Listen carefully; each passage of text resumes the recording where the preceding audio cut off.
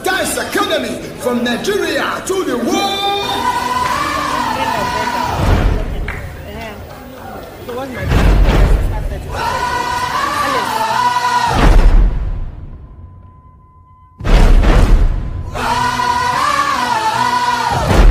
Ladies and gentlemen, this is the moment you've waited for.